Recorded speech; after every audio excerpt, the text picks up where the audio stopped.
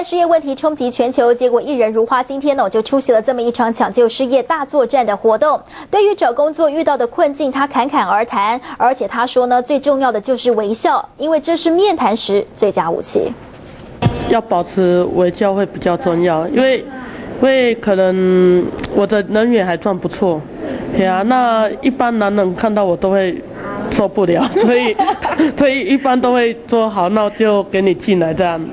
对呀，那我觉得从还没进这一行找工作到现在，我觉得只有一种就是保持微笑，因为真的保持微笑会让你比其他各方面还得分很多。